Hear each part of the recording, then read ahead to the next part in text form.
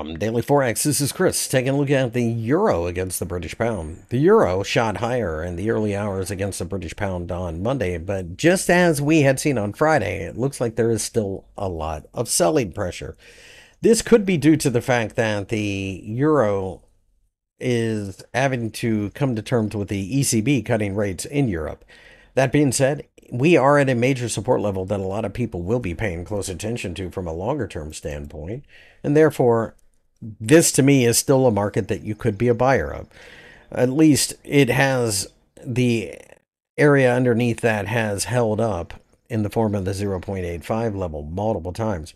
Whether or not it actually holds up longer term, we'll have to wait and see. But right now, this is an area where you would expect a bit of a bounce sooner or later.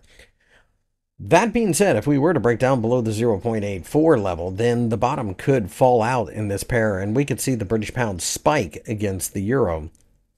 Typically speaking, this is a very choppy and noisy market that doesn't have anywhere to be most of the time. And if that's going to be the case, you have to be very patient. This is not a market that I think you are going to get huge moves all of the sudden. And I do think that the 50 day EMA just above continues to offer a bit of resistance as well.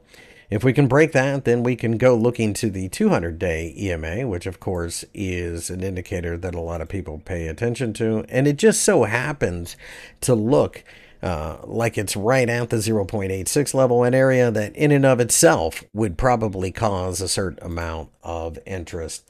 Ultimately, this is just a reversion to the mean type of setup from what I see, as we had been in that massive consolidation area for so long.